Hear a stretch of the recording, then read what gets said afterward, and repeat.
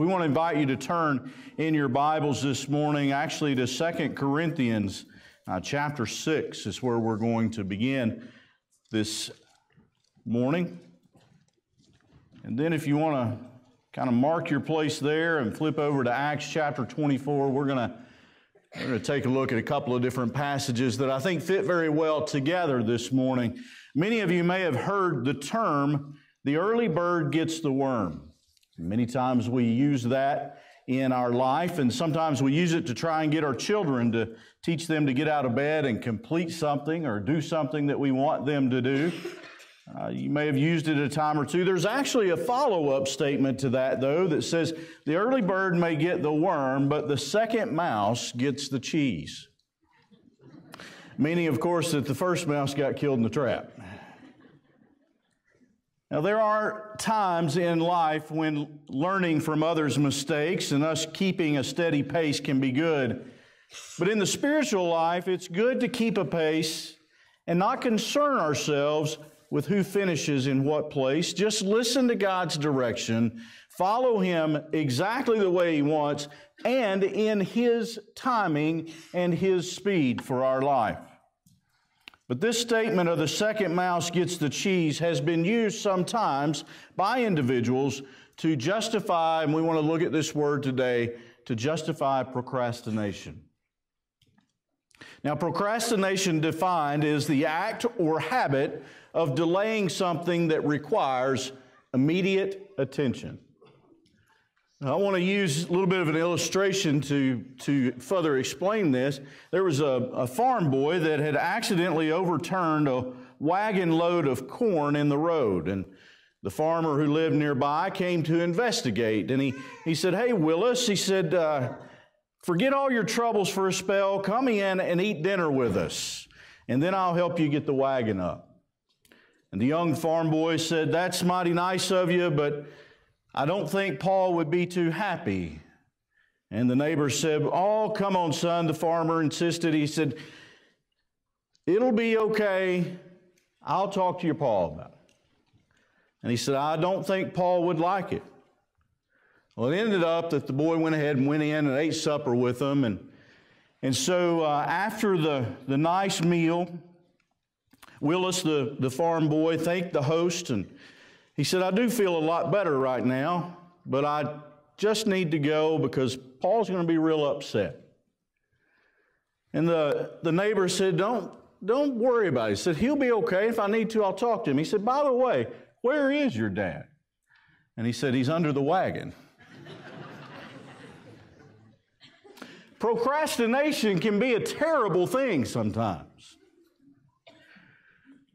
And it can hide behind many different windows. One of the most eloquent windows disguise, uh, disguises that procrastination can use is that we need more information or more research about whatever it may be. Sometimes we say this from a spiritual sense. We say, Well, I'm praying about it. And our statement of I'm praying about it is actually I really don't want to do it, so I'm going to pray longer and see if God changes his mind. That don't happen, by the way. When God leads you to do something, He has you prepared, He has you ready, He knows the right time. We just have to follow through. So sometimes we use this statement of I'm praying about it, and it becomes a procrastination type statement. When Christ or the Holy Spirit stirs the heart, Procrastination actually mutters, wait for a better occasion. I want us to read today 2 Corinthians chapter 6 as we look at Paul's encouragement, especially in verse 2. When he says, Now is the favorable time, now is the day of salvation. From there, we're going to take a look at Governor Felix when, in the book of Acts, when Paul was in prison and and Paul stood before Felix and basically gave his testimony. And he, he acquainted Felix, although he already was familiar with it, with what they called the way, which was basically believing in Jesus Christ. But we see a lack of acceptance with Felix, a procrastination, and as far as we know, he never accepted. And I wonder if that's the condition of some today. We've heard it, we actually know it, heard it many times, but we've never submitted ourselves to it to the point that we've said, I want to be a follower of Jesus Christ. Read with me, if you will, 1 Corinthians chapter 6. Paul says, Working together with him, then, we appeal to you not to receive the grace of God in vain. For he says, In a favorable time I listened to you, and in a day of salvation I've helped you. Behold, now is the favorable time. Behold, now is the day of salvation. We put no obstacle in anyone's way so that no fault may be found with our ministry. But as servants of God, we commend ourselves in every way by great endurance in afflictions, hardships, calamities, beatings, imprisonments, riots, labors, sleepless nights, hunger, by purity, knowledge, patience, kindness, the Holy Spirit, genuine love, by truthful speech and the power of God, with the weapons of righteousness for the right hand and for the left, through honor and dishonor, through slander and praise. We are treated as impostors and yet are true, as unknown and yet well known, as dying and behold we live, as punished and yet not killed, as sorrowful yet always rejoicing as poor, yet making many rich, as having nothing, yet possessing everything. We have spoken freely to you, Corinthians. Our heart is wide open. You are not restricted by us, but you are restricted in your own affections. In return, as I speak as to children, widen your hearts also. I want you to, to notice that verse 12, if you would, for a minute. You are not restricted by us. Basically, Paul is saying, I have poured out my heart, I've poured out my life to you. I've told you about Christ, I've patterned it in front of you, I've took beatings for you, I've went hungry, I've given you everything that I can give you. You are not restricted by us. There is nothing that is holding you back from accepting Jesus Christ as your Savior. The only restriction is you yourself.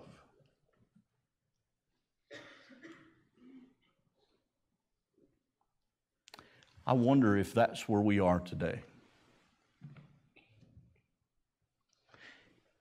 Maybe you're here this morning, maybe you're watching online today, one of the two, but you've heard the word so many times in your life. You've heard even God speak to your heart, call out to your heart. You've been under conviction before. You've maybe even grabbed a hold of the back of the pew and not let go because you're afraid that if you did, you'd walk the aisle and come to the front.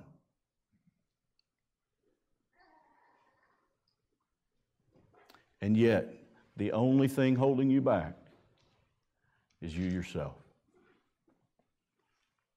Paul gives encouragement not to put off till tomorrow what you know that you need to do today. This can be accepting Christ as personal Savior, or it can be following through with something that God has been leading you to do in your heart for quite some time. It can be forgiving someone for something that you never have forgiven them for.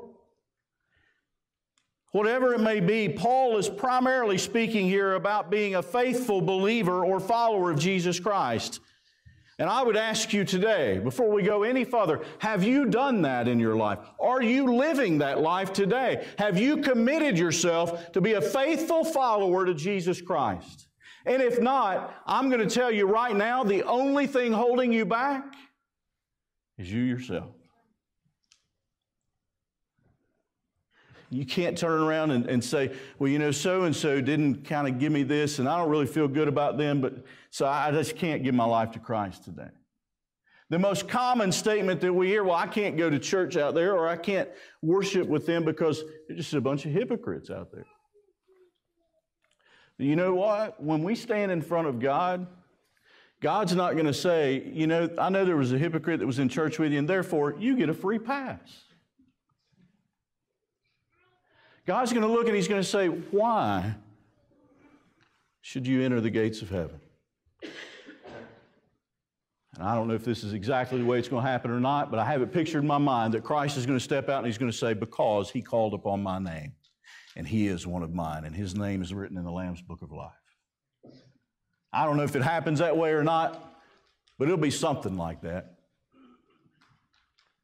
But I would ask you today can you say that about your life today? Paul says there's nothing that's in the Corinthians' way. Paul's done everything he knows he can do. It's now up to them. Notice again that verse 12 we are not restricting you, but you're restricting your own affections. I want to ask you now, because we could stop the service at this point in time. Is God dealing with your heart now? And if so, what's preventing you from coming? And if you need to in this moment in time, why not get up from where you are, come to the front, pray, ask God to be your personal Savior. You see, we don't have to have an official invitation. You can come at any moment in time. The altars are always open. You can bow right where you are and you can pray exactly where you are today. You see, procrastination can cause issues in our relationship with God or with even beginning a relationship with God. Have you began a relationship with Christ? Look at Acts chapter 24 with me, if you will. Acts chapter 24, verse 22 is where we're going to start. And again, Paul's in prison. He's having to appear in front of uh, Felix, who's the governor, and there are people making claims against what Paul is doing, and the only thing they can really accuse him of is actually sharing the gospel and living it. That's, that's basically their only accusation that, they, that they have. And they've already made their case, and we get to verse 22, and, and Paul is about to somewhat give his, uh, his declaration of who he is and, and what he has done. Look at verse 22. Uh, Paul is actually, I'm sorry, Paul is actually given his declaration. I was going to read a few verses before that, but we're going to start in verse 22. So we find here, but Felix, having a rather accurate knowledge of the way, put them off, saying, When Lysias, the tribune, comes down, I will decide your case. Talking about Paul. And then he gave orders to the centurion that he should be kept in custody, but have some liberty and that none of his friends should be prevented from attending to his needs. In other words, Paul could have visitors while in prison. Verse 24 After some days, Felix came with his wife Drusilla, who was Jewish, and he sent for Paul and he heard him speak about faith in Christ Jesus. And as he reasoned about righteousness and self control and the coming judgment, Felix was alarmed and said, Go away for the present. When I get an opportunity, I will summon you. That's procrastination at its finest, by the way. At the same time, he hoped that money would be given him by Paul, so he sent for him often and conversed with him. And when two years had elapsed, Felix was succeeded by uh, Porcius Festus. And desiring to do the Jews a favor, Felix left Paul in prison. Now, I want to look at this life of Felix, or of, uh, uh, yes, Felix, for just a moment. There's three aspects of procrastination that I want us to look at that not only affected him, but affect us today. Whether we are fighting the battle of becoming a believer or whether we are just fighting against what God is leading us to do in our life. First off, notice that procrastination actually neglects God's righteousness. Paul proclaimed in Romans chapter 3 verse 22 that God's righteousness comes to those who believe through faith in Christ. The key word there is those who believe. He did not say that it comes to those who enjoy hearing about religious issues or to those who like to sit and listen to the message of Christ being preached. But it comes to those who believe through Jesus Christ. In other words, what I want you to take away is it doesn't matter how many messages or sermons you've sit through until you believe in Jesus Christ as your personal Savior, it has done nothing in your life. So I don't care how long you've been in church. I do care how long you've been in church. But when it comes to salvation, it's not about church attendance. That comes after you get saved because then you want to be here. It's about submitting ourselves to Jesus Christ and believing that He is the only way. Verse 26 says that Felix sent for Paul often, and he conversed with him, and he apparently debated the message of the gospel. But we know he had other things on his mind. He was hoping Paul would bring him money. In other words, he was distracted by worldly things. Similar to Felix, there are many individuals that will listen to theological teaching and doctrinal sermons or any just sermon that they hear on the radio, but they never draw the conclusion that they need to accept the Savior, Jesus Christ. And they've sat in church maybe all of their life. They've went to Sunday school, but they've never come to the point where they've said, I need Jesus as my personal Savior. I cannot do this on my own. They never see the pressing need to change. They never reach a verdict that God's righteousness is what's required for the sacrifice of our sin. Of course, those that have not delayed the decision to listen and accept Christ's invitation have the sacrifice through Jesus Christ. They have grace and mercy. Their life has changed. You see them from a different perspective because now God's grace and mercy is working in their life actively, changing them, molding them into the person God desires for them to be. As long as they're being obedient. You see, they realize the need to change their life and they respect the righteousness of God and realize that the only way to have that relationship is through the Son, Jesus Christ. In a book written by Lloyd Ogilvie, he writes about a conversation he had with a fellow student by the name of Alistair. He said that they would often sit close to each other in the library and would eat lunch together many times and would have discussions about faith. The student Alistair knew little about church and had not made a profession of faith in Christ. He said that several times their discussion would bring Alistair to the edge of the decision to accept Christ. But he would never move forward with that decision. Mr. Ogilvie said that one day after discussion had focused on grace, at the end of that conversation, Mr. Ogilvie took a pen and he placed it on the table and he told Alistair that he needed to make a decision of whether to accept Christ or not.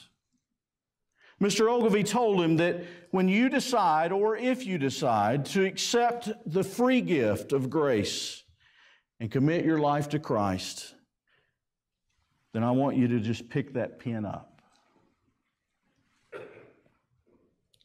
He said that for an hour they sat in silence with Alistair just staring at the pen. A friend came walking by while they were still sitting there and noticed that they had been sitting quietly for about an hour looking at this pen, and he asked what they were doing. And Alistair replied that he was trying to decide whether to become a Christian.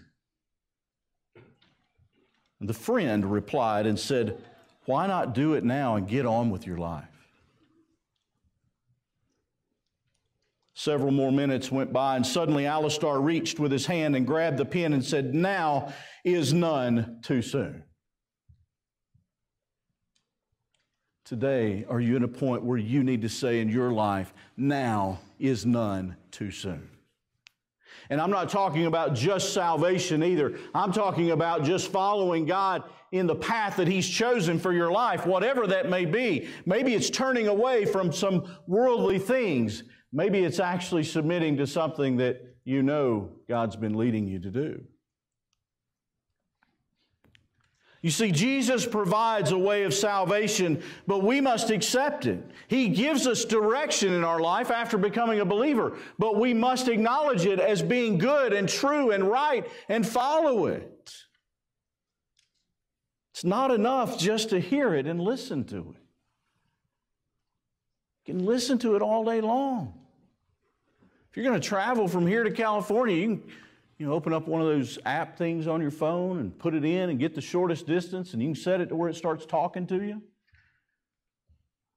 Most annoying voice you'll ever hear.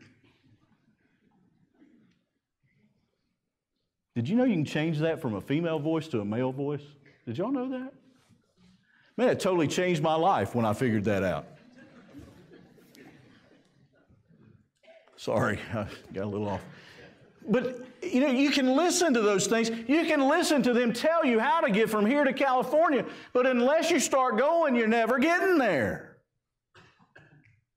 You can hear people talk about how to become a believer in Christ, but unless you make that effort to pick the pen up, you're never getting there. Same way with being obedient to Him.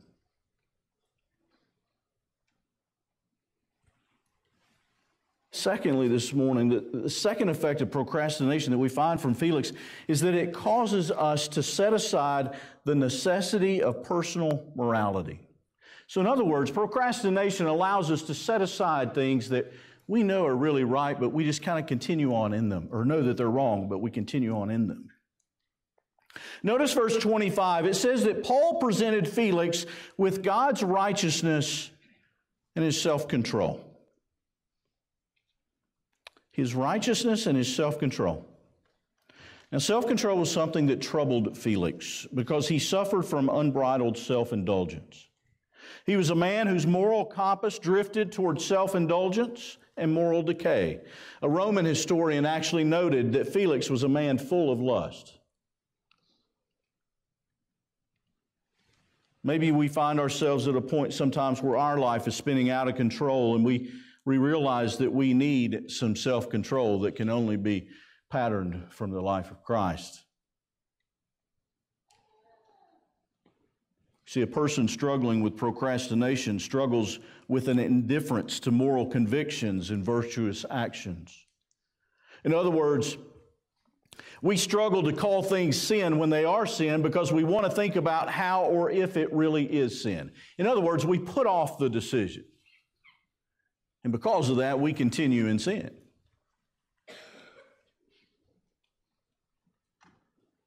Going by the example of Felix's life, we see that because of his delaying decision about Christ, he continued to prefer personal pleasure at the expense of a follower of God, the expense of Paul.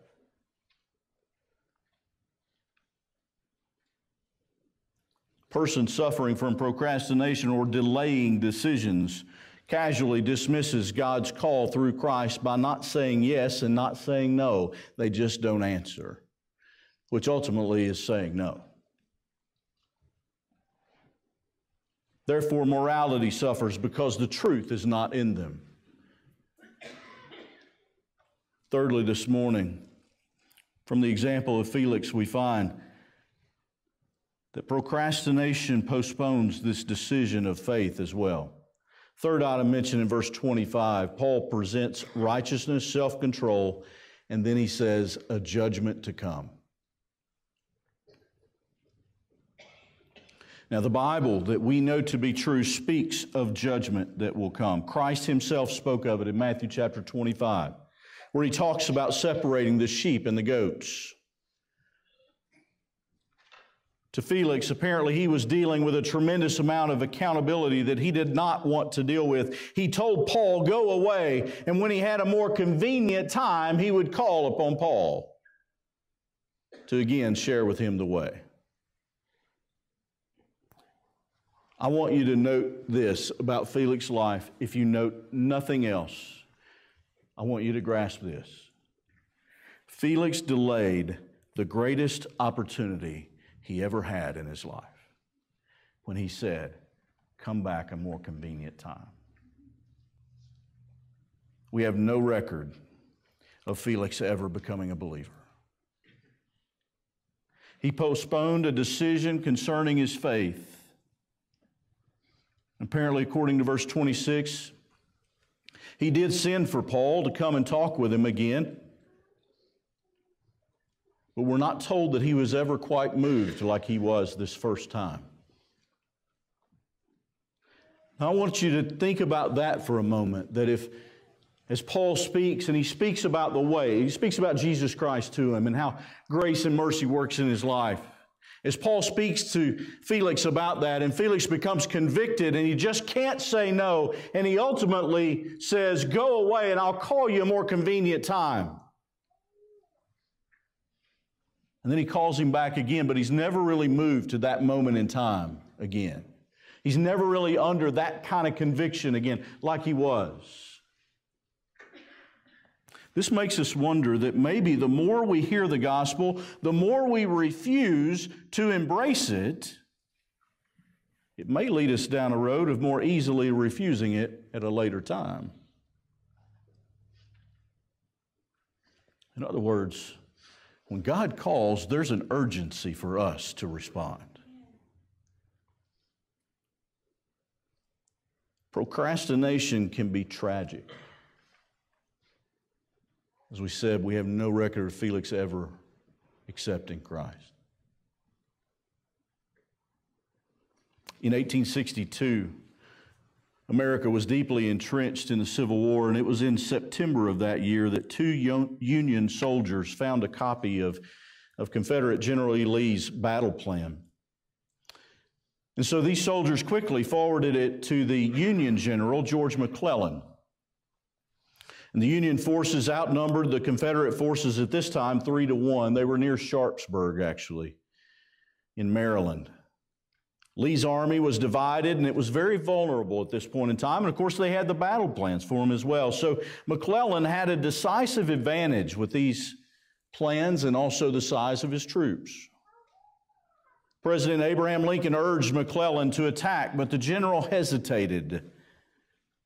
Because of this, General Lee was able to, able to maneuver his forces. The Battle of Antietam took place, and at the conclusion of that, 23,000 soldiers actually lost their life.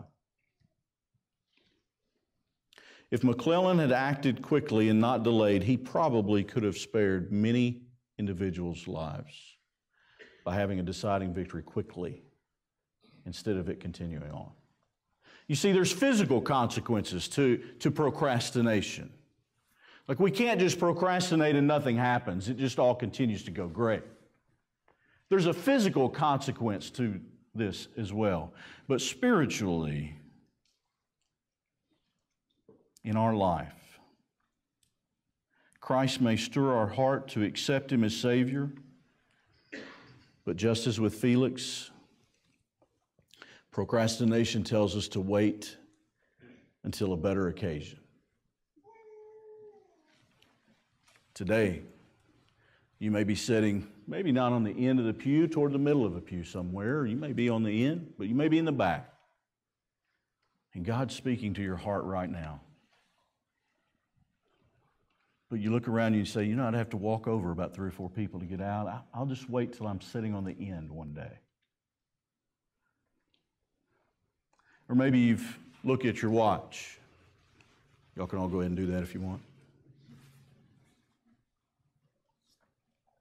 And you said, you know, if I, if I go, it's going to delay service a little bit. i tell you this the most important decision you'll make is to delay service.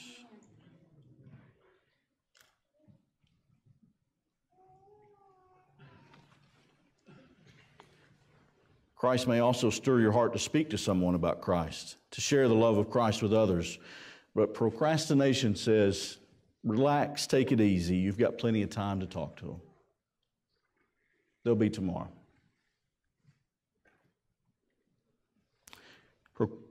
Christ may actually stir our heart to help someone in need. But procrastination says you've got plenty of things of your own to do. There'll be another day you can help them. See, if you're struggling with delaying something that needs or should have your immediate attention,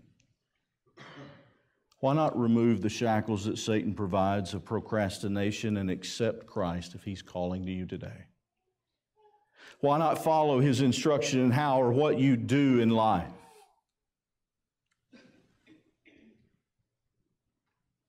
And maybe today we've, we've geared our message a little more toward an unsaved type audience or unsaved type individual. But I want you to understand too that even as a believer, at each new level of discipleship, we find procrastination can shut us down.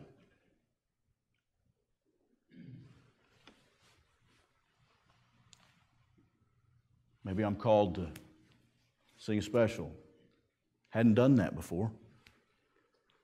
Maybe it's a, like a next level discipleship kind of thing in our life. But because of kind of fear, we just said, I, I'll do that another time. Maybe we've been called to you know, start reading our Bible more, studying more, and having kind of some Bible discussions within our family. But we always find something else to do. Like there, there's always something going on. And so therefore we kind of put it off. That's discipleship to the next level, and we just procrastinate. You see, procrastination is not just about becoming saved, it's also about advancing in our life in Christ.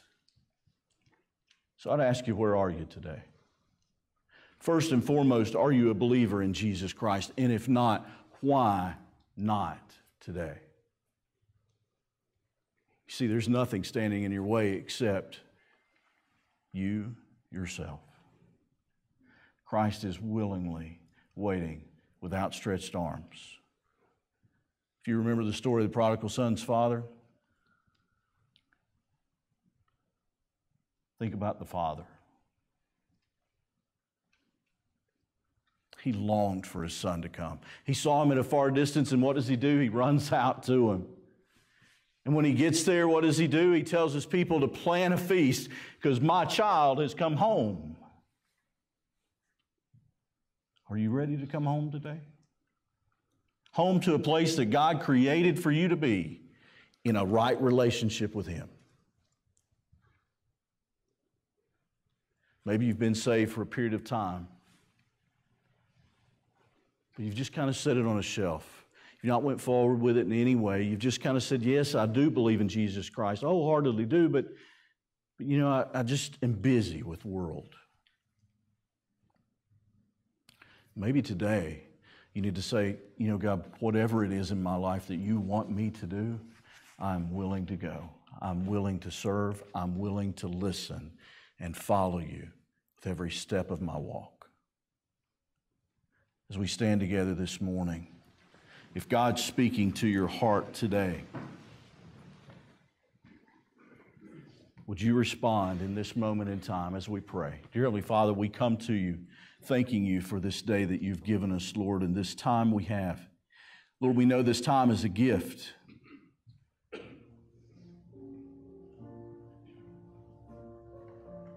It's a gift that you've given to each one of us. And and Lord, you know exactly where we are in our life, and for some reason, you've brought us here this morning. For some reason, you have us standing right where we are. For some reason, you've actually maybe moved within our heart in the way that you have.